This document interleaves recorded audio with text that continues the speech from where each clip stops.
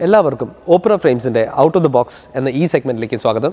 ഇന്നത്തെ out of the ബോക്സിലെ നമ്മുടെ അതിഥി എന്ന് പറയുന്നത് നമ്മളൊക്കെ ചെറുപ്പത്തിൽ ആർ എക്സ് ഹൺഡ്രഡും ഡി ത്രീ ഫിഫ്റ്റിയൊക്കെ കണ്ട് കോരി തെരിച്ചിരുന്ന കാലത്ത് റോഡുകളിൽ തീപ്പൊരി പാറിച്ച എന്നിട്ട് നാഷണലിലും ഇന്റർനാഷണൽ ലെവലിലും കയറി അടിച്ച് പൊളിച്ച നമ്മുടെ സ്വന്തം തൃശ്ശൂരുകാരൻ ജിന്നൻ ചേട്ടനാണ്. Let's get into it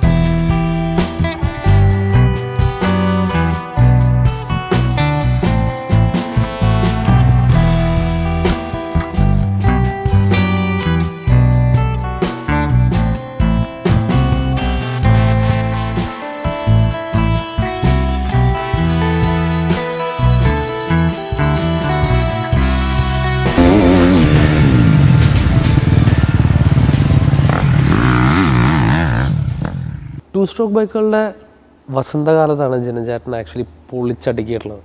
R X hundred R R D three fifty Suzuki Shaolin ഇതൊക്കെ ഉണ്ടായിരുന്ന കാലത്ത്. ജനചേട്ടന്റെ ഏറ്റവും ഫേവററ്റ് ബൈക്ക് ഏതായിരുന്നു? എവിടെ നിന്നാണ് തുടങ്ങിയത്? ഏത് ഈ സ്റ്റേജ് വരെ എത്തിയേക്കുമ്പോൾ അതിൽ ഈ ബൈക്കിലായിരുന്നു എനിക്ക് പക്ക സെറ്റായത് എന്ന് തോന്നിയ ബൈക്ക് ഏതായിരുന്നു? ഞാൻ ആർ എക്സ് ഹൺഡ്രഡിൽ നിന്നാണ് തുടങ്ങിയത് two stroke R X hundred നമ്മൾ ചെറിയ മോഡിഫിക്കേഷൻ ഒക്കെ ചെയ്ത് എക്സോസ്റ്റ് എൻജിൻ പവർ ചെയ്യും സിലിണ്ടർ പോർട്ട് ചെയ്യാന്ന് പറയും. പിന്നെ അതേമാതിരി മോഡി മഡ് ഗാർഡ് മറ്റേ ഫ്ലൈ മഡ് ഗാർഡും പിന്നെ ഹാൻഡിൽ ബാറൊക്കെ ഇത്തിരി ഹാൻഡിൽ ബാർ ചെയ്ത് ഹാൻഡിൽ പിടിക്കുമ്പോൾ ഒരു ആ ഒരു ഇതിന് വേണ്ടിയിട്ട് ലുക്കും പിന്നെ ഇതിനും വേണ്ടിയിട്ടുള്ള ഒരു സെറ്റപ്പ് അതിനുശേഷമാണ് ഷോഗൺ ഇറങ്ങണത്. ഷോഗൺ ഇറങ്ങിയപ്പോൾ വൺ ടെൻ സി സി ഒന്നും കൂടിയും പവറുള്ള അപ്പം തന്നെ നമ്മൾ അതുമേലേക്ക് ചാടി. ഷോഗൺ അന്ന് ഷോഗന്റെ ഒരു പരസ്യം ഉണ്ടായിരുന്നു. ഓർമ്മയുണ്ടോന്ന് അറിയില്ല. ഒരു പുള്ളി കുറെ കോഴീനെയൊക്കെ കൊണ്ട് ഒരു ട്രക്കിൽ പോകുമ്പോൾ ഷോഗൺ ഒരു തൻ അടുത്തുകൂടെ പറന്ന് പോകുമ്പോൾ കോഴികളൊക്കെ പറന്നു പോണേ. അതൊക്കെ കണ്ടപ്പോൾ ഭയങ്കര ത്രില്ലായി അപ്പം തന്നെ പോയി ഷോഗൺ എടുത്തു. അതെ അത് കഴിഞ്ഞിട്ട് അപ്പോഴാണ് Yamaha R X one three five എന്ന് പറഞ്ഞിട്ടൊരു ബൈക്ക് ഇറങ്ങി.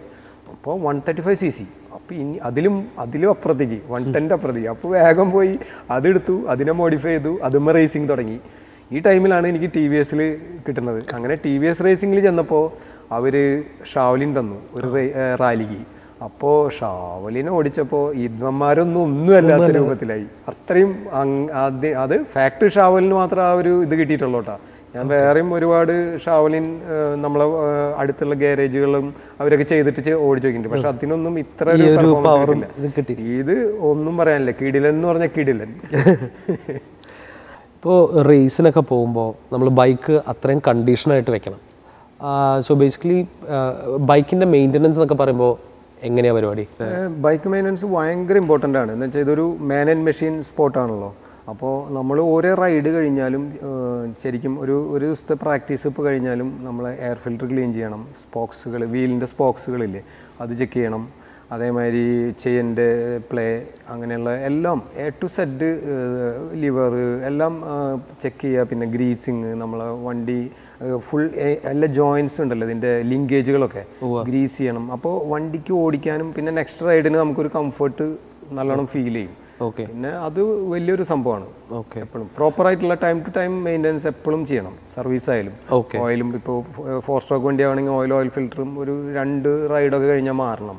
വെച്ചാൽ അത്രയും ഫുൾ ഡ്രൈവിൽ ഓടുന്ന വണ്ടിയല്ലേ? എപ്പോഴും ഫുൾ ത്രോ ഓൾമോസ്റ്റ് എപ്പോഴും ഫുൾ ത്രോട്ടിലാണ് ഇത് ഓടിക്കുന്നത് മണ്ണിലും. അപ്പോൾ ഒരു രണ്ട് ദിവസം കഴിഞ്ഞ് കഴിഞ്ഞാൽ ഓയിൽ ഓയിൽ ഫിൽറ്റർ മാറിക്കളയണം. അപ്പോൾ എഞ്ചിൻ എപ്പോഴും ഫ്രഷ് ആയിട്ട് നിൽക്കും. ഓക്കെ. ജൻചേട്ടൻ അപ്പോൾ എത്ര പ്രാവശ്യം അതിപ്പോൾ ഒരാഴ്ച അല്ല രണ്ടാഴ്ച പോട്ടെ ഒരു മാസത്തിൽ എത്ര പ്രാവശ്യം ജൻചേട്ടൻ പ്രാക്ടീസ് ചെയ്യും? ഞാൻ ആക്ച്വലി ഹോളിഡേയ്സിലാണ് ഇവിടെ പ്രാക്ടീസ് ചെയ്യുന്നത്. എന്ന് വെച്ചാൽ നമ്മൾ വർക്കും ചെയ്യുന്നുണ്ടല്ലോ. ഇവിടെ ജീവിക്കണമെങ്കിൽ വർക്ക് വേണമല്ലോ. അപ്പോൾ റേസ് മാത്രം കളിച്ചുകൊണ്ട് നടപടിയാവില്ല. അപ്പോൾ വർക്ക് കഴിഞ്ഞിട്ട് ഹോളിഡേ കിട്ടുമ്പോൾ ഒരുവിധം എല്ലാ ഹോളിഡേയ്സിലും ഓക്കെ പ്രാക്ടീസ് ചെയ്യും. ഓക്കെ അടിപൊളി. ജിന്നൻ ചേട്ടൻ ഇതുവരെ എത്തിപ്പെടുക എന്ന് പറയുന്നത് ചുമ്മാ നടക്കുന്ന ഒരു സംഭവമല്ല അതിന് ഒരുപാട് പാഷൻ വേണം. ഓഫ് കോഴ്സ് ജിനു ചേട്ടന് ആ പാഷൻ ഉണ്ടായിരുന്നു. പക്ഷേ പാഷൻ ഉണ്ടായിരുന്നെങ്കിലും ഒരുപാട് ചലഞ്ചസ് ജനചേട്ടൻ ഫേസ് ചെയ്തിട്ടുണ്ടാവും. എന്തൊക്കെയായിരുന്നു ആ ചലഞ്ചസ് കാരണം അന്നത്തെ കാലത്തൊന്നും എനിക്ക് തോന്നുന്നില്ല ആരും സപ്പോർട്ട് ചെയ്തിട്ടുണ്ട് ഇല്ല ഇല്ല തുടക്കകാലത്ത് എന്ന് പറഞ്ഞാൽ നയന്റീൻ നയന്റി ത്രീയിലാണ് ഞാൻ തുടങ്ങുന്നത് അന്ന് ആൾക്കാർക്ക് ഈ റേസിങ്ങിനെ കുറിച്ചും ഒന്നും അറിയില്ല. ഈ ബൈക്ക് സ്പീഡിൽ ആൾക്കാർ വിചാരിച്ചു ഇവനെന്താ തലയ്ക്ക് വട്ടായിട്ട് പ്രാന്ത് പിടിച്ച മാതിരിയാണ് ഈ റോട്ടിൽ കൂടെയൊക്കെ പറന്നിട്ടല്ലേ പോണത്. നമുക്ക് ഭയങ്കര ഹരാണല്ലോ ബൈക്ക് വീട്ടിൽ നിന്ന് കിട്ടിയപ്പോൾ അപ്പോൾ അന്നൊക്കെ എന്ന് പറഞ്ഞു കഴിഞ്ഞാൽ ഭയങ്കര ഒരുപാട് ബുദ്ധിമുട്ടിയിട്ടുണ്ട്. റേസൊക്കെ എവിടെ ഉണ്ടെന്ന് വെച്ചാലും പോവാനും റേസ് പ്രിപ്പയർ ചെയ്യാനും അന്ന് സാമ്പത്തികമായിട്ടും ആരും സപ്പോർട്ട് ചെയ്യാനില്ലല്ലോ. ഈ ഫീൽഡ് ഇങ്ങനെ നടക്കുമ്പോൾ വീട്ടിൽ നിന്നും വീട്ടുകാരും പറയും നിനക്ക് എന്താ തലയ്ക്ക് വെട്ടാണോ എനിക്ക് റേസ് എന്നൊക്കെ പറഞ്ഞു കഴിഞ്ഞാൽ അപ്പോൾ അവരും ഒന്ന് എനിക്ക് ഇപ്പോഴും ഓർമ്മയുണ്ട്. ഒരുപാട് ഒരുപാട് ബുദ്ധിമുട്ടിയിട്ട് തന്നെയാണ് വന്നിട്ടുള്ളത്. പിന്നെ ഈ വീട്ടിൽ നിന്ന് അമ്മയുടെ ചീത്ത പറയലും അയ്യോ എല്ലാവരും ചീത്ത ഉണ്ടാവും എപ്പോഴും. സത്യം പറഞ്ഞു കഴിഞ്ഞാൽ ഒരുപാട് ഫൈനാൻഷ്യലി ഭയങ്കര ഒരുപാട് എക്സ്പെൻസീവ് സ്പോട്ടാണുള്ളത് ആക്ച്വലി സാമ്പത്തികമായിട്ട് നല്ലോണം ചെലവുകളാണ്. ഇപ്പൊ റേസ് പ്രിപ്പറേഷൻ ബൈക്ക് പ്രിപ്പയർ ചെയ്യാനും നമ്മ ഞാനൊക്കെ അന്ന് ചെറുപ്പത്തിൽ ആ തുടക്ക കാലത്തൊക്കെ ഏഹ്, സത്യം പറഞ്ഞാൽ ഭക്ഷണം പോലും കഴിക്കാൻ ഹോട്ടലിൽ പോയിട്ട് നമ്മൾ പൊറോട്ടയും ചായയും മാത്രം കഴിക്കും. അത്രയും ബാക്കി പൈസ നമുക്ക് വണ്ടി വണ്ടിയിലേക്ക് ചെയ്യാനായിട്ട് നമ്മളെ കയ്യിൽ വെക്കും. അങ്ങനെ വരെ ട്രൈ ചെയ്തിട്ടുള്ള ആൾക്കാരാണ്. ഈ മോട്ടോക്രോസ് എന്ന് പറയുന്ന ഒരു റേസ് സാധാരണ റേസിംഗ് പോലെയല്ല കുറെ കൂടെയൊക്കെ ഒരു ഫിസിക്കൽ ഫിറ്റ്നസ് ഭയങ്കരമായിട്ട് ഡിമാൻഡ് ചെയ്യുന്ന ഒരു റേസാണ് എസ്പെഷ്യലി വണ്ടി നമ്മൾ ചാടിക്കുന്നു നമ്മൾ പിന്നെ ഇം ഇറക്കുമ്പോൾ ഒരു ഇമ്പാക്റ്റ് ഉണ്ട്. അങ്ങനെ ഒരുപാട് കാര്യങ്ങളുണ്ട്.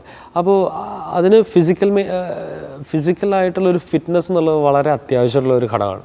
എങ്ങനെയാണ് ജനചേട്ടൻ അത് മെയിന്റെയിൻ ചെയ്ത് പോകുന്നത്? അതും ഇപ്പോൾ ആക്ച്വലി യങ്സ്റ്റേഴ്സിന്റെ കൂടെയൊക്കെ റേസ് ചെയ്യുന്ന സമയത്ത് അത്രയും ഫിറ്റ് ആയിരിക്കണം എങ്ങനെ എങ്ങനെയാണ് എന്റെ കാര്യങ്ങൾ എങ്ങനെയാണ് അത് മെയിന്റെയിൻ ചെയ്ത് പോകുന്നത്? ഒരു ഡെയിലി റൊട്ടീനാണോ ഓ ഇത് എക്സ്ട്രീംലി ഫിറ്റ് ആയിരിക്കണം നമ്മൾ ഫിസിക്കലി ഭയങ്കര എക്സ്ട്രീംലി ഡിമാൻഡിങ് സ്പോർട്ടാണ് ഹൈ ഡിമാൻഡിങ് സ്പോർട്ടാണ് ആക്ച്വലി മോട്ടോക്രോസ് സ്പെഷ്യലി മോട്ടോക്രോസ് ഈ ജമ്പിങ്ങും പിന്നെ നമ്മൾ അത് നമ്മളെ മൈൻഡും മെന്റലിയും ഫിസിക്കലിയും ഫുൾ ഫിറ്റ്നസ് മാക്സിമം എത്ര ചെയ്യാൻ പറ്റും അത് നമുക്ക് ഞങ്ങൾക്ക് അതൊക്കെ ചെയ്തുകൊണ്ടാണ് ഇപ്പോഴും പിടിച്ചേക്കാൻ പറ്റുന്നത്. അല്ലെങ്കിൽ ഈ പത്ത് എന്റെ മകന്റെലും പ്രായം കുറഞ്ഞ പിള്ളേരെ കൂടെയൊക്കെയാണ് ഞാൻ റേസ് ചെയ്യണത്. അപ്പോൾ അതൊക്കെ ആലോചിച്ച് നോക്കുക അവർ ഇത്രയും യങ് ആണല്ലോ. അപ്പോൾ അവരൊപ്പം നമ്മൾ പിടിച്ചേക്കണമെങ്കിൽ നമ്മൾ അതിനെ അതിന്റെ എത്രമാത്രം വർക്ക് ചെയ്ത് ചെയ്യണം. അതെ അതെ അതെ അപ്പോൾ എങ്ങനെ ഒരു ഒരു ഡെയിലി കറക്റ്റ് റൊട്ടീൻ ഉണ്ടോ ജനചേട്ടൻ ലൈക്ക് കൺസിസ്റ്റന്റ് ആയിട്ടുള്ള ഒരു നമുക്ക് daily almost every day physical ഒരു വൺ അവർ ഞാൻ സ്പെൻഡ് ചെയ്യും. ഓക്കെ ഓൾമോസ്റ്റ് ജനചേട്ടൻ ഫിസിക്കലായിട്ട് ഫിറ്റ് ആണെന്ന് ഇപ്പോൾ പറഞ്ഞു. ആക്ച്വലി ഒരുപാട് കാര്യങ്ങൾ ചെയ്യുന്നുണ്ടെന്ന് പറഞ്ഞു. പക്ഷെ മാനസികമായിട്ട് എങ്ങനെയാണ്? ഇപ്പോഴും ആ ഒരു റേസിനൊക്കെ പോയി അവിടെ നിൽക്കുമ്പോൾ ഉള്ളൊരു ബട്ടർഫ്ലൈസ് ഇൻ ദ സ്റ്റൊമക്ക് എന്നൊക്കെ പറയുന്ന പോലത്തെ ഒരു ഒരു ഫീലിങ്ങും ആ പേടിയും അങ്ങനെ അങ്ങനെയൊക്കെ ഉണ്ടോ? എങ്ങനെ എങ്ങനെയാണ് കാര്യങ്ങൾ കാരണം ഇപ്പോഴും റേസ് ചെയ്യുന്നുണ്ടല്ലോ. ഇല്ല പേടി എന്ന് പറഞ്ഞാൽ ഒന്നുമില്ല പക്ഷേ നമുക്കൊരു ലക്ഷ്യമുണ്ട്. ജയിക്കണം എന്നുള്ള പിന്നെ നമുക്ക് കോമ്പറ്റീഷൻ ഇവിടെ എന്ന് പറഞ്ഞാൽ ദുബായ് ഇപ്പോൾ യു എയിൽ ഇപ്പോൾ ചാമ്പ്യൻഷിപ്പിലൊക്കെ എന്ന് പറഞ്ഞു കഴിഞ്ഞാൽ ഒരു ഒക്കെ യൂറോപ്യൻസും വൈറ്റ്സും ഒക്കെയാണല്ലോ.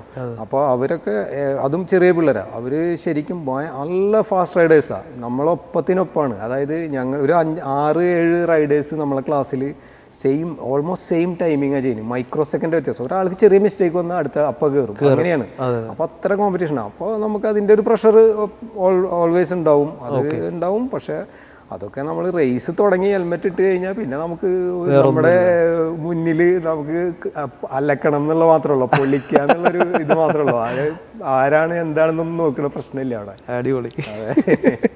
നമ്മുടെ നാട്ടിൽ എന്തൊക്കെ മാറ്റങ്ങൾ ഉണ്ടാക്കിയാലാണ്. അല്ലെങ്കിൽ എന്തൊക്കെ മാറ്റങ്ങൾ കൊണ്ടുവന്നാലാണ് മോട്ടോക്രോസ് എന്ന് പറയുന്ന ഉള്ളൊരു അഡ്വ പൊതുവേ അഡ്വഞ്ചർ സ്പോർട്സ് എന്ന് പറയുമ്പോഴേ നാട്ടിലെ ആൾക്കാർക്ക് ഒരു ഇച്ചിരി പേടിയും പരിപാടിയൊക്കെയാണ്. അച്ഛനമ്മമാരൊക്കെ ഭയങ്കര കുട്ടികളെ ഒരുപാട് ചെയ്യരുതെന്ന് പറഞ്ഞിട്ട് നിർത്തുന്ന ഒരു സംഭവമാണ്.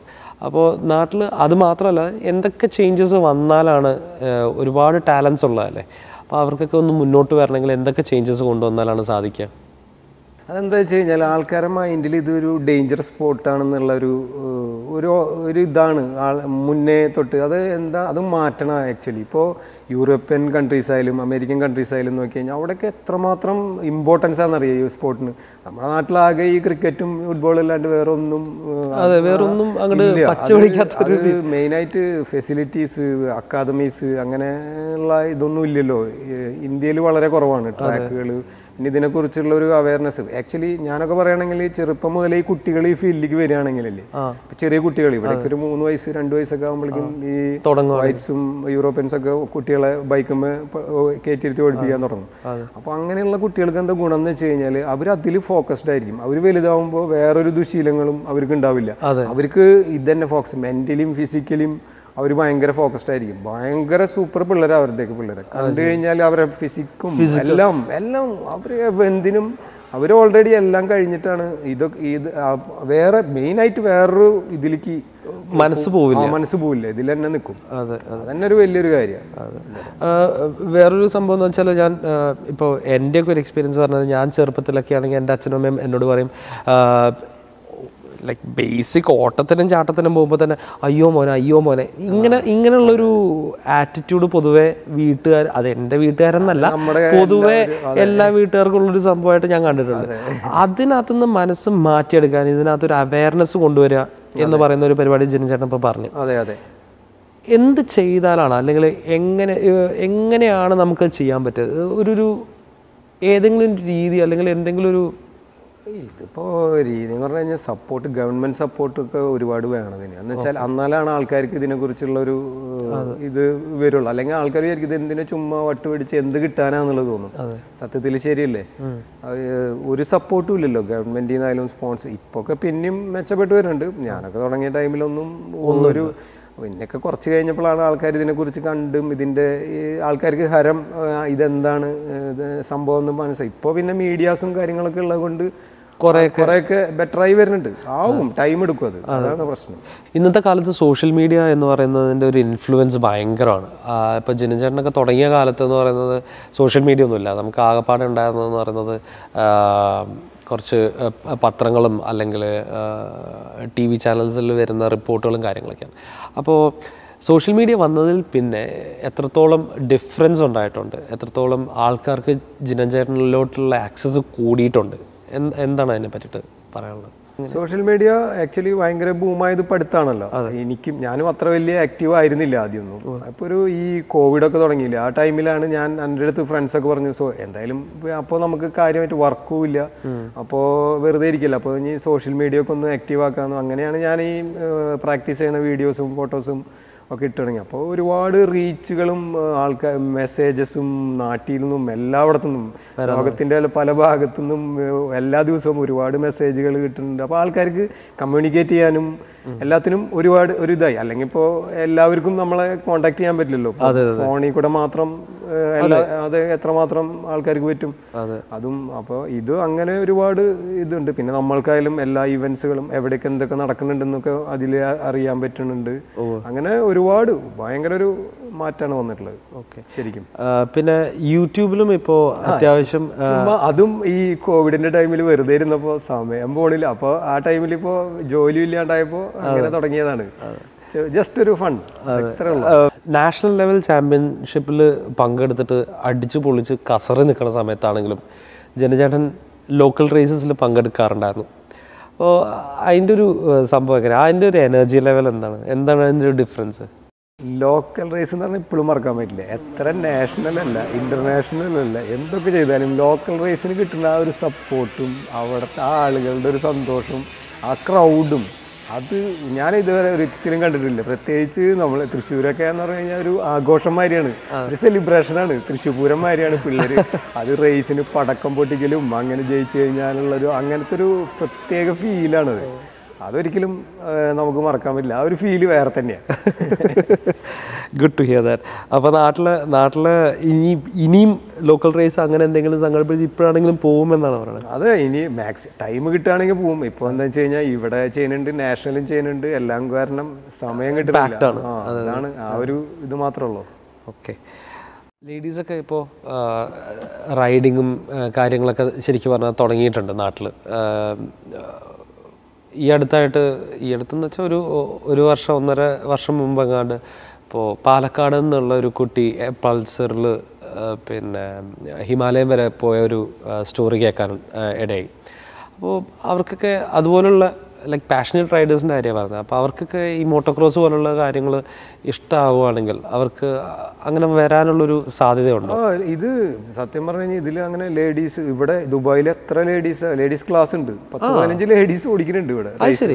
ഇവിടെ എം എക്സിൽ ഇന്റർനാഷണൽ ഒരുപാട് ലേഡീസ് ഓടിക്കുന്നുണ്ടല്ലോ. ഇതിൽ അങ്ങനെ ആൺകുട്ടികൾക്ക് പെൺകുട്ടികൾക്ക് എന്നുള്ള ഒരു സ്പോട്ടല്ല അത് ഇത്തിരി ഫിസിക് ഇത്തിരി ടഫ് സ്പോട്ടാണ് പക്ഷേ ലേഡീസിനും പറ്റും. അതിനുള്ള ഒരു ഡെഡിക്കേഷനും അവർക്ക് ഫോക്കസ് ഉണ്ടെങ്കിൽ ആർക്കും ചെയ്യാവുന്നുള്ളത് ഓക്കെ തീർച്ചയായിട്ടും. ഒരു ഇടവേളയ്ക്ക് ശേഷം ടു തൗസൻഡ് നയന്റീനിൽ റേസിങ്ങിൽ പോയപ്പോൾ ജനചേട്ടന്റെ പിന്നെ കൂടെ പാർട്ടിസിപ്പേറ്റ് ചെയ്ത അതായത് കൂടെ മത്സരിച്ചിരുന്ന ഒരാളുടെ മകൻ കൂടെ മത്സരിക്കാൻ എത്തിയെന്ന് കേട്ടിട്ടുണ്ട്. അപ്പോൾ അങ്ങനത്തെയൊക്കെയുള്ള സാഹചര്യങ്ങൾ വരുമ്പോൾ എന്താണ് ജനചേട്ടന്റെ ഒരു ഫീലിംഗ് എന്താണ്? അല്ലെങ്കിൽ ഈ പറയുന്ന ആൾ അവരുടെ ഒരു ഫീലിംഗ് എന്തായിരിക്കും? എന്താണ് പൊതുവെ? അതൊരു പ്രത്യേക ഫീലിംഗ് ആ ഫീലിംഗ് ഒന്നും പറയാൻ മനസ്സിലായി ഞാൻ അപ്പോഴും വിചാരിക്കുക അയ്യോ ഇത് അവരെ കാണുമ്പോഴൊക്കെ അവരൊക്കെ ഭയങ്കര നമ്മളൊപ്പം മത്സരിച്ച്. ഉദാഹരണത്തിന് ഇപ്പോൾ ലാസ്റ്റ് ഞാനിപ്പോൾ ഒരു കഴിഞ്ഞ മാസം ഇന്ത്യയിൽ പോയിരുന്നു റായ്പൂര് എം ആർ എഫിന്റെ ഒരു സൂപ്പർ ക്രോസ് ഓടിക്കാൻ അപ്പൊ എന്റെ എന്റെ കൂടെ മത്സരിച്ചിരുന്ന ടി വി എസിൽ തന്നെ ഉണ്ടായിരുന്ന നമ്മളെ ടീംമേറ്റ് ടി കെ വിശ്വനാഥൻ പറഞ്ഞിട്ട്. പുള്ളി മൾട്ടിപ്പിൾ ടാലന്റ് ഉള്ള ഒരു റൈഡറാണ് അതായത് റോഡ് റേസിംഗ് മോട്ടോക്രോസ് ഒക്കെ ഒരുമിച്ച് ചെയ്തിരുന്ന സൂപ്പർ റൈഡർ ആയിരുന്നു. ഞാൻ മെയിൻ കോമ്പറ്റീറ്റർ ആയിരുന്നു. അപ്പൊ പുള്ളിനെ മോനെ ട്രെയിൻ ചെയ്തിട്ട് പുള്ളി കൊണ്ടുവന്നിട്ടുണ്ട് റേസിന് ഇറക്കാനായിട്ട്. പതിനെ പത്ത് പതിനാറ് വയസ്സ് അങ്ങണ്ടായിട്ടുണ്ട് നല്ല പയ്യൻ നല്ല ഫിസിക്കും നല്ല നല്ലോണം ട്രെയിൻ ചെയ്തിട്ട് പുള്ളിയും അപ്പോൾ കണ്ടപ്പോ കണ്ടപ്പോൾ എന്ന് പറഞ്ഞാൽ ഞാൻ അവൻ അങ്ങനെ ഞാനിപ്പോൾ സ്റ്റാർട്ടിലേക്ക് പോയായിരുന്നു. ടി വി എസിന്റെ പിറ്റീന്ന് സ്റ്റാർട്ട് ചെയ്യുമ്പോൾ പോകുമ്പോൾ സ്റ്റാർട്ടിലേക്ക് പോകുമ്പോൾ വിശ്വനാഥന്റെ അടുത്ത് വന്നു. എന്നിട്ട് പറഞ്ഞു എന്റെ മോനൊന്ന് നോക്കണണ്ടാന്ന് പറഞ്ഞു. അപ്പൊ നമുക്കൊരു എന്താ പറയാ ഞങ്ങൾ ഒരുമിച്ച് ഫൈറ്റ് ചെയ്തിരുന്ന ആൾക്കാരാണ്. ശരി. അപ്പൊ അവനറിയാം. അവൻ കഴിഞ്ഞാൽ ഉദ്ദേശിച്ച വേറെ ഒന്നുമല്ല അടിച്ച് തെറിപ്പിച്ച് കളയരുത് എന്നുള്ളതാണ്. അവസ്ഥ അല്ലേ? പല മോട്ടോർ ബൈക്ക് പരസ്യത്തിലും ജിനചേട്ടൻ ആക്ച്വലി ഡ്യൂപ്പ് ചെയ്തിട്ടുണ്ട്. ഇപ്പോൾ സച്ചിൻ ടെണ്ടുൽക്കർ ആണെങ്കിലും നമ്മുടെ ധോണിക്കൊക്കെ വേണ്ടിയിട്ടാണെങ്കിലും നമ്മൾ ഡ്യൂപ്പ് ചെയ്തിട്ടുണ്ടെന്ന് നമുക്കറിയാം. പക്ഷെ അന്നത്തെ കേസിൽ ശരിക്കും പറഞ്ഞാൽ ജനചേട്ടൻ തന്നെയല്ലേ അതിന്റെ ഒരു ഫേസ് ആയിട്ട് വരണം അങ്ങനെയാണെങ്കിൽ ഇപ്പം നേരത്തെ പറഞ്ഞ അവയർനെസ് എന്നൊക്കെ പറയുന്ന സംഭവത്തിൽ ശരിക്കും പറഞ്ഞാൽ ഇറ്റ് ഹെൽപ്പ് റൈറ്റ് ശരിക്കും ജനചേട്ടൻ തന്നെയായിരുന്നില്ലേ അങ്ങനെയുള്ളൊരു ഫേസ് ആയിട്ട് നിൽക്കേണ്ടിയിരുന്നത്? അത് എന്താ സംഭവം വെച്ചാൽ നമ്മൾ അതെ സത്യമാണ് പിന്നെന്താ വെച്ച് കഴിഞ്ഞാൽ അന്ന് ആ സിറ്റുവേഷനിൽ ആൾ ഇവ സച്ചിൻ ടെണ്ടുൽക്കർ ആയാലും ധോണിക്ക് ആയാലും ആ അത്രയും ഹൈ ഫെയിമിൽ നിൽക്കുന്ന ആൾക്കാരാണല്ലോ. പിന്നെ നാട്ടിൽ ക്രിക്കറ്റും ആ ഒരു സ്പോർട്സിനാണല്ലോ കൂടുതൽ ആൾക്കാർക്കും ആൾക്കാർക്ക് കാണാനുള്ള ഡിമാൻഡ് ചെയ്യുന്നത് അതായിരുന്നു. അതുകൊണ്ട് പിന്നെ അത് ഓക്കെ എന്താ പറയുക ഞങ്ങളുടെ ഓപ്പറ ഫ്രെയിംസിൽ ജനിച്ചേട്ടന്റെ വീടിന്റെ തൊട്ടടുത്ത് താമസിച്ചിരുന്ന ഒരു പയ്യനുണ്ട്. അപ്പോൾ പുള്ളി പറഞ്ഞു കേട്ടിട്ടുള്ളൊരു സംഭവമാണ്. ഇപ്പോൾ ജിഞ്ചറിന്റെ ബൈക്കിന്റെ സൗണ്ട് കേൾക്കുമ്പോൾ തന്നെ പിള്ളേരൊക്കെ ഓടി വരുന്നും കാണാനായിട്ട് ഓടി വരുന്നൊക്കെ. പിന്നെ അതുപോലെ ജിൻചേട്ടനെ അനുകരിച്ചിട്ട് എം ടി വി സൈക്കിളിലൊക്കെ വീൽ ചെയ്ത് പിള്ളേർ നടന്നിരുന്നതൊക്കെ. ഇത് കേൾക്കുമ്പോൾ ജിനഞ്ചേട്ടന്റെ ഒരു ഫീലിംഗ് എന്താണ്? അതെ ഇപ്പോൾ ഞാനിപ്പോൾ രണ്ടു ദിവസം മുന്നേ ഒരു പാലക്കാടുള്ള ഒരു പുള്ളീനെ കണ്ടിരുന്നു. അപ്പോൾ പാലക്കാടുള്ള പുള്ളി ഇങ്ങനെ എന്റെ അടുത്ത് സംസാരിച്ചു ഞാൻ അവിടേക്ക് ഒരുപാട് റേസിന് പോയിരുന്നു. ഓക്കെ. അപ്പോൾ അവിടേക്ക് ആരെങ്കിലും ബൈക്കുമ്പോൾ സ്പീഡിൽ പോണ് പോയി കണ്ടു കഴിഞ്ഞാൽ പുള്ളി പറയാ അപ്പോൾ തന്നെ പോയി ചോദിക്കുന്നു അവനോട് നീ എന്താ ജിനനാവാൻ പഠിക്കുകയാണോ എന്ന്? അങ്ങനെയുള്ളവരെ. അത് പൊളിച്ചു. അതെ അതെ. അത് അത് ശരിക്കൊരു ഇൻസ്പിറേഷനാണ് പിള്ളേർക്കൊക്കെ ആ ഒരു ഇൻസ്പിറേഷനിൽ തന്നെ എന്തെങ്കിലുമൊക്കെ ചെയ്യാൻ പറ്റട്ടെ എന്നുള്ളത് ലൈക്ക് അതെ. ചേട്ടന്റെ ഈ ഫീൽഡിലോട്ടേ പിന്നെ ഒരു സന്തോഷമാണ് എന്താ പറയുക നമുക്കൊരു അതെ നമ്മൾ ഇത്രയും ഇങ്ങനെയൊക്കെ ആയി എന്നുള്ളൊരു ആൾക്കാർക്ക് ഒരു ഇതുണ്ടല്ലോ. പിന്നെ സ്കൂളിലേക്കൊക്കെ പോകാൻ വൈകുന്ന പിള്ളേരെ ടൈമിന് എത്തിക്കുന്ന ഒരു കലാപരിപാടി ഉണ്ടാകുന്നത് പുള്ളി പറഞ്ഞു കേട്ടിട്ടുണ്ട്. അത് ശരിക്കും അത് അത് അങ്ങനെയെന്ന് പറഞ്ഞു കഴിഞ്ഞാൽ നമ്മളപ്പോൾ അങ്ങനെ വീടിന്റെ അവിടെ എവിടെയെങ്കിലൊക്കെ ഇരിക്കുമ്പോൾ ഏതെങ്കിലും പിള്ളേർ ഇങ്ങനെ ലേറ്റ് ആയിട്ട് അപ്പോൾ ചുമ്മാ അവനെ ഒന്ന് കൊണ്ടുപോയി പേടിപ്പിക്കുക കൊണ്ടുപോയി സ്കൂളിൽ പോവുക പൊളിച്ചാടി ചെല്ലുക അവിടെ കൊണ്ടാക്കുക. അതേമാതിരി അങ്ങനെ അങ്ങനെ ഒരുപാട് വിറ്റുകളുണ്ട്. ഇതേമാതിരി നമ്മളെ വീടിന്റെ അടുത്തൊരു വത്സൻ വത്സേട്ടൻ എന്ന് പറഞ്ഞാൽ എന്നതിലൊക്കെ പ്രായമുള്ള ഒരു പുള്ളിയാണ് പുള്ളിയുണ്ട്. വത്സേട്ടൻ എന്ന് പറഞ്ഞാൽ പുള്ളി എന്റെ വീട് തൃശ്ശൂരിൽ നിന്ന് ഒരു പതിനെട്ട് കിലോമീറ്റർ ഉള്ളിലേക്ക് നീങ്ങിയിട്ടാണ് പഴുവിൽ എന്ന് പറയും. അപ്പോൾ പുള്ളിക്ക് തൃശ്ശൂർ പോകണം അപ്പം ഞാനിങ്ങനെ തൃശ്ശൂർ പോകും പുള്ളി വലിയ ധൈര്യമുള്ള പുള്ളിയൊക്കെയാണെന്നാണ് പുള്ളി ഭയങ്കര അങ്ങനെ ഒരു നടക്കുന്ന ഒരാളാണ്. അപ്പോൾ പുള്ളീനെ എന്തെങ്കിലും എന്റെ ബൈക്കുമ്പോൾ കയറ്റണം എന്ന് എനിക്ക് ആഗ്രഹമുണ്ട്. പുള്ളി അപ്പോൾ അന്ന് പുള്ളി പെട്ടുപോയി. പുള്ളിക്കും തൃശ്ശൂർ പോകണം അപ്പം ഞാൻ പറഞ്ഞു "വാ, ഞാനും പോകണ്ട് കയറുമെന്ന് പറഞ്ഞു. അങ്ങനെ വണ്ടിയുമ്പോൾ പുള്ളിയും കയറി മനസ്സില്ല മനസ്സോടെ കയറി കയറി അപ്പോൾ പുള്ളി വിചാരിച്ചു തൃശ്ശൂർക്ക് മര്യാദക്കുള്ള റോഡുണ്ട്. നമ്മൾ മര്യാദക്കുള്ള റോഡിൽ കൂടെ പോവില്ല. ബണ്ട് റോഡുണ്ട്. കുണ്ടോളിക്കടവ് എന്നൊരു ബണ്ടുണ്ട്. രണ്ട് സൈഡിലും കനാലാണ്. ബണ്ട് മേൽക്കൂടെ കുണ്ടും കുഴിയും മാത്രമേ ഉള്ളൂ. അപ്പോൾ പുള്ളി ഇത് കണ്ടപ്പോൾ പുള്ളിക്ക് ആകെ പേടിയായി. ഞാൻ നോക്കുമ്പോൾ പുള്ളി എന്റെ ഷോൾഡറും ഇങ്ങനെ പിടിച്ചിരിക്കുക അപ്പോൾ ഫുൾ സ്പീഡിലാണല്ലോ പോണത്. കുണ്ടും കുഴിയല്ലേ? കൈ പിടിച്ചിട്ട് കിട്ടണില്ല. എന്നെ പിടിച്ചിട്ട് ഒരു കൈ പോകുമ്പോൾ ഒരു കൈ കാലൊക്കെ പോയിക്കൊണ്ടിരിക്കുക അങ്ങനെയുള്ള ഒരു വിറ്റുകൾ ഒരുപാട് തമാശകൾക്ക്. ഇങ്ങനെ ഒരു ജിനൻ ചേട്ടന് ജിനൻ റേസിംഗ് അക്കാഡമി എന്ന് പറഞ്ഞിട്ടൊരു അക്കാഡമി ഉണ്ടായിരുന്നു. അപ്പോൾ അത് പഴവിൽ നിന്നുള്ള ഗ്രാമത്തിലാണ് തുടങ്ങിയത്. അത് ചേട്ടന്റെ സ്വന്തം നാട്ടിൽ അടുത്ത് തന്നെയാണ് തുടങ്ങിയത്. അപ്പോൾ അതിനുള്ളൊരു റീസൺ എന്തായിരുന്നു? ലൈക്ക് അവിടെ തന്നെ തുടങ്ങാനുള്ളൊരു കാരണം? അത് എന്താ വെച്ചാൽ ഞാൻ ടി വി എസിലേക്ക് പോയതിനു ശേഷം ടി വി എസ് റേസിംഗിൽ ജോയിൻ ചെയ്തതിന് ശേഷം ഫാക്ടറിയുടെ ഉള്ളിൽ ടി വി എസിന്റെ ഫാക്ടറിയുടെ ഉള്ളിൽ ട്രാക്ക് ഉണ്ട്. അപ്പോൾ ഞാൻ നോക്കിയപ്പോൾ അങ്ങനത്തെ ഒരു ട്രാക്ക് നമ്മളെ കേരളത്തിലില്ല. അപ്പോൾ അതായത് അത്ര വേണ്ട. അത് വലിയൊരു ട്രാക്കാണ് എന്നാലും ഒരു ചെറിയൊരു സെറ്റപ്പ് ഒരു table top double jump triple jump scoops ഒക്കെ ആയിട്ടുള്ള ഒരു അങ്ങനെ മനസ്സിൽ ഇങ്ങനെ തോന്നി എനിക്ക് എന്തെങ്കിലും ഒന്ന് നാട്ടിൽ ചെയ്യണം. അപ്പോൾ പിള്ളേർക്കൊരു പുതുമയായിരിക്കും. എന്ന് വെച്ചാൽ അല്ലെങ്കിൽ ഒരു നാഷണലിന് ചെല്ലുമ്പോൾ ഫ്രഷ് ആയിട്ട് ഒരു ആൾ ചെല്ലുമ്പോൾ ഇത്ര വലിയ ജമ്പുകളൊക്കെ കാണുമ്പോൾ പേടിക്കില്ല. നമുക്കപ്പോൾ അങ്ങനെ ഒരു ഇത് വന്നപ്പോൾ അപ്പോൾ എനിക്കും കൂടി പ്രാക്ടീസ് ചെയ്യാം. അങ്ങനെ അങ്ങനെയാണ് ഒരു അക്കാദമി അവിടെ ചെയ്യണത് ഞാൻ മോട്ടോക്രോസ് ട്രാക്ക് ഉണ്ടാക്കി. ഒരു ചെറിയൊരു സെറ്റപ്പിൽ ഒരു ചെറിയ ഫിലിമൊക്കെ ഷൂട്ട് ചെയ്തിരുന്നു. ഒരു ടൂ വീലർ എന്ന് പറഞ്ഞിട്ട് ജിഷ്ണു ഒക്കെ വന്നിട്ടൊരു ഫിലിമും അങ്ങനെ ആ ഒരു അക്കാദമി തുടങ്ങണത്. അത് പിന്നെ ഇനിയിപ്പോൾ മുന്നോട്ട് പോകുമ്പോൾ അങ്ങനെ ഒരു ഒരു വൺ സെറ്റപ്പിൽ ഒരു സംഭവം തുടങ്ങാനുള്ള ഒരു പ്ലാൻ ആക്ച്വലി വൺ സെറ്റപ്പിൽ ഒരു അക്കാദമി പ്ലാനിങ് ഉണ്ട്.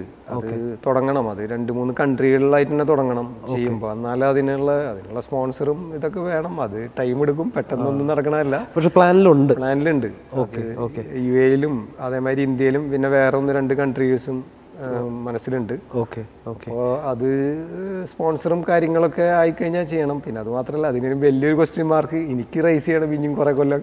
അത് അത് തീർന്നിട്ടാണ് അത് എത്ര കൊല്ലം റൈസ് ചെയ്യണമെന്ന് എനിക്ക് തന്നെ അറിയില്ല. അവിടെയാണ് അടുത്ത ചോദ്യം. അപ്പൊ എന്ന് തുടങ്ങുന്നുള്ളതിന് ഉത്തരമില്ല. പിന്നെ അതിനുള്ള സ്പോൺസറും വേണം. ഓക്കെ. എന്തായാലും ജനി ചേട്ടൻ അങ്ങനെ ഒരു അക്കാദമി തുടങ്ങുകയാണെങ്കിൽ ഒരുപാട് പേർക്ക് അതൊരു വലിയൊരു ഒന്ന് ഇൻസ്പിറേഷൻ പിന്നെ ഒരു വലിയൊരു പ്ലാറ്റ്ഫോം ആയിരിക്കും. നമ്മുടെ നാടിന്റെ ആ ഒരു ആ ഒരു പേടി മാറ്റാൻ പറ്റട്ടെ ജനി ചേട്ടൻ സത്യമായിട്ട് ലൈക്ക് ശരിക്കും ഫുൾ ഫെസിലിറ്റിയിൽ തന്നെ തുടങ്ങണം തുടങ്ങുമ്പോൾ. തുടങ്ങുകയാണെങ്കിൽ ബെസ്റ്റായിട്ട് തന്നെ തുടങ്ങണം. അതാണ് plan all the best all the best ഞങ്ങളെല്ലാവരും കാത്തിരിക്കുകയാണ് ആ ഒരു ഡേ വരാൻ വേണ്ടിയിട്ട്. ഓൾ ദ ബെസ്റ്റ് സോ ഒരുപാട് സന്തോഷം ഓപ്പറ ഫ്രെയിംസിന് വേണ്ടിയിട്ട് ഔട്ട് ഓഫ് ദ ബോക്സ് എന്ന് പറഞ്ഞ ഈ പ്രോഗ്രാമിന് വേണ്ടിയിട്ട് ജിനു ചേട്ടൻ ഇച്ചിരി സമയം മാറ്റി വെച്ചതിന്. Thanks a lot thanks a lot അപ്പോൾ സൂൺ ഇനഫ് നമ്മളെല്ലാവരും ആ, അടിച്ചു പൊളിച്ച് ആ ഒരു റേഞ്ചിലേക്ക് എത്തട്ടെ. കേരളം വേറൊരു റേഞ്ചിലേക്ക് തന്നെ പോട്ടെ. പിള്ളേരൊക്കെ അതെ. അല്ലേ കയറി പൊളിക്കണം, എല്ലാവരും പൊളിക്കണം. പൊളിക്കണം അതാണ്. തകർക്കാം. ഔട്ട് ഓഫ് ദ ബോക്സിന്റെ അടുത്ത സെഗ്മെന്റിൽ കാണുന്നവരെ signing off this is Gautham here bye നമ്മളെ മോട്ടോക്രോസ് ബൈക്കിന്റെ ബേസിക് ആയിട്ട് കാര്യങ്ങൾ ശ്രദ്ധിക്കേണ്ടതെന്ന് പറഞ്ഞു കഴിഞ്ഞാൽ മെയിനായിട്ട് ഇപ്പോൾ ഒരു ഫസ്റ്റ് ആയിട്ട് ഓടിക്കുമ്പോൾ തന്നെ നമ്മളെ ഈ ഹാൻഡിൽ ബാറിന്റെ പൊസിഷൻ നമുക്ക് കംഫർട്ട് ആയിട്ടുള്ളൂ എന്ന് ആദ്യം നോക്കണം. ഇനി ലിവർ പൊസിഷൻ ഇതൊക്കെ ഭയങ്കര ഇമ്പോർട്ടന്റ് സംഭവം ചെറിയ ചെറിയ കാര്യങ്ങളാണ്. എന്ന് വെച്ച് കഴിഞ്ഞാൽ ഈ ലിവറൊക്കെ ഒരുപാട് പൊന്തിച്ചു വെച്ചാലും അടിയിലേക്ക് വെച്ചാലും അപ്പം തന്നെ ഈ ആം പമ്പ് കിട്ടും കുറച്ച് നേരം കഴിഞ്ഞാൽ പിന്നെ കംഫർട്ട് കിട്ടില്ല അപ്പോൾ ഇതൊക്കെ നമുക്ക് തന്നെ നമുക്ക് ഏറ്റവും കംഫർട്ടായിട്ടുള്ള പൊസിഷനിൽ വെക്കുക ലിവറുകൾ പിന്നെ ഹാൻഡിൽ ബാർ പിടിക്കുന്ന പൊസിഷനായാലും ഇങ്ങനെ പിടിക്കരുത് ഒരിക്കലും. ഒന്ന് ലിവറേജ് ഒന്ന് ഒരു വീക്കട്ട് ഇവിടെ വരാവുന്ന രൂപത്തിൽ ഹാൻഡിൽ ബാർമ പിടിക്കുക. അപ്പോൾ ഒരു ലിവറേജ് നമുക്ക് തന്നെ ഇരിക്കുമ്പോൾ തന്നെ നമ്മളൊരു സ്ട്രോങ് ആയിരിക്കണം. വണ്ടിയും ഇരിക്കുമ്പോൾ എപ്പോഴും ആയിരിക്കണം എന്തൊക്കെ വന്നാലും. പിന്നെ ഇരിക്കുന്ന പൊസിഷൻ എന്ന് പറഞ്ഞാൽ എക്സാക്ട്ലി നമ്മൾ ഈ ഫുഡ് പെഗ് ഉണ്ടല്ലോ അതിന്റെ മേ എക്സാക്ട്ലി മേലെയായിട്ടിരിക്കുക എന്ന് വെച്ചാൽ അതാണ് സെന്റർ വണ്ടിയുടെ സെന്റർ പൊസിഷൻ ഫുഡ് പെഗും ഈ സിങ്ങാമിന്റെയും ബോൾട്ടിന്റെയും കറക്റ്റ് മേലെ. അല്ലാണ്ട് ഒരുപാട് ബാക്കിലിരുന്നാലും ബാലൻസ് ആവില്ല. ഫ്രണ്ടിൽ വന്നിരുന്നാലും വണ്ടി ഓടിക്കുമ്പോൾ ഡിസ്റ്റർബ് ആയിരിക്കും. അപ്പോൾ അതൊന്ന് ശ്രദ്ധിക്കണം. അതും മെയിനായിട്ട് ശ്രദ്ധിക്കുക. ആക്സിലേറ്റർ നമ്മൾ ഓപ്പൺ ചെയ്യുമ്പോൾ വണ്ടി ഓപ്പൺ സ്പീഡ് ഓപ്പൺ ചെയ്യുമ്പോൾ എപ്പോഴും നമ്മളെ തല മുന്നിലോട്ട് വരണം. ബാറിന്റെ ബാറിന്റെ മേലെ. അത് വളരെ ഇമ്പോർട്ടന്റ് ആണ് എന്താ വെച്ച് കഴിഞ്ഞാൽ അവിടെയാണ് അല്ലെങ്കിൽ ആക്സിലേറ്റർ ഓപ്പൺ ചെയ്യുമ്പോൾ എന്താ ഉണ്ടാവുക വെച്ചാൽ ഈ വണ്ടി ബാക്ക് വീൽ ഡ്രൈവ് ആണല്ലോ. ബാക്ക് വീൽ കറങ്ങുമ്പോൾ ഫോഴ്സ് ആ ഫോഴ്സ് ഒന്ന് ബാലൻസ് ചെയ്യാൻ വേണ്ടിയിട്ടാണ് നമ്മൾ മുന്നോട്ട് വരുന്നത്. അല്ലെങ്കിൽ വണ്ടി നമ്മളെയും കൊണ്ട് പോകും അങ്ങനെ. ആ ഒരു ഇത് വ്യത്യാസം മാത്രം. ഇപ്പോൾ അതേമാതിരി ഇപ്പോൾ ഇമ്പാക്റ്റ് ഒക്കെ ഇല്ലാണ്ട് ലാൻഡ് ചെയ്യണമെങ്കിൽ ഇപ്പോൾ നമ്മളൊരു വലിയൊരു ടേബിൾ ടോപ്പ് ചാടി ലാൻഡിങ് റാമ്പ് ഉണ്ടെന്ന് വയ്ക്കുക ലാൻഡിങ് റാമ്പ് ഉണ്ടെങ്കിൽ നമ്മളെപ്പോഴും ലാൻഡിങ് റാമ്പിൽ ഫ്രണ്ട് വീൽ കുത്തി ഇറങ്ങണം രണ്ട് വീൽ കുത്തി ഇറങ്ങി കഴിഞ്ഞാൽ നമുക്ക് ഇറങ്ങുന്നതിന് ബാക്ക് വീൽ ഗ്രൗണ്ടിൽ തൊടുന്നതിന് മുന്നേ നമ്മൾ ഫുൾ ത്രോട്ട് റേവ് ചെയ്യുക അപ്പോൾ വണ്ടി ഇമ്പാക്റ്റ് വരില്ല. നമ്മൾ വെള്ളത്തിൽ കല്ലെറിഞ്ഞ എങ്ങനെയാണ് അതേമാതിരി പോകും. ഇതൊക്കെയാണ് മെയിനായിട്ട് ചെറുതായ ചെറിയ ബേസിക് പിന്നെ നമ്മൾ സ്ട്രോങ് ആയിട്ട് ഇരിക്കുക എപ്പോഴും വളഞ്ഞു കൂടിയൊന്നും ഇരിക്കരുത്. ചെസ്റ്റൊക്കെ ഓപ്പൺ ആയിട്ട് പിടിച്ചിരിക്കുക പിന്നെ അങ്ങനെ പതുക്കെ പതുക്കെ ആ ബേസിക്കിൽ നിന്ന് ഓടിച്ച് തുടങ്ങാം. പൊളിക്കണ്ട.